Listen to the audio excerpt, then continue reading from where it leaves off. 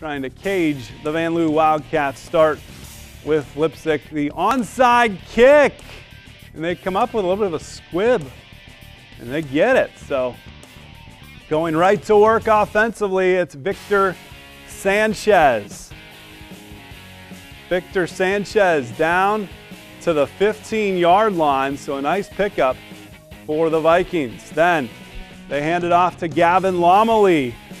He gets into the end zone, but is called back for holding. So would we have another opportunity for a touchdown on the sports report? Of course we would with the Leipsic Vikings. They are a high-powered offensive attack. Dylan Schrader finds Grant Schrader for the touchdown. Big score for the Vikings, and they go on to the big win tonight. As we let's see, let's we have the final score for that one. There we go. 41 to 6. BVC standings if we have them. McComb gets a victory 56-7 tonight over Riverdale, so they're still on top. Uh, also a big win for Arlington over North Baltimore, 49 to 6 uh, as well.